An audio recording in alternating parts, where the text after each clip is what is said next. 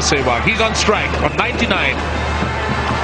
And oh, that went past the keeper. It's gone for four. And uh, that's four buys. So Sehwag looking to run it down. It beat everything. So the scores are level. And Sehwag is on 99. That really did surprise Sangakkara. Kept very low.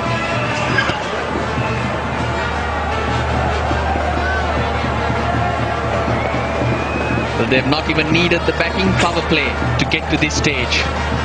What happens if uh, Suraj Randiv bowls a no ball now? Or a wide for that matter. Sehwag might be standard on 99. Let's see what happens. He's on 99.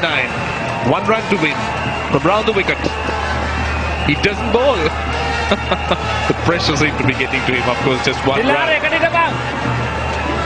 Just wants to keep Sehwag waiting.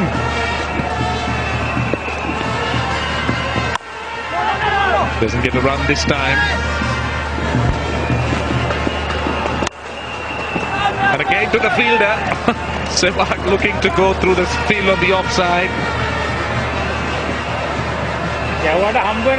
So oh, he remains on 99 of 99 balls.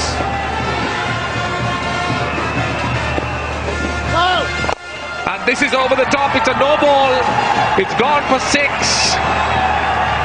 And... Uh, try to bowl uh, you know, wide or no ball when batsman on 99 and when scores uh, get level. So it, it happens in cricket because nobody wants to you know uh, allow the batsman to score 100 against them. So it's fair enough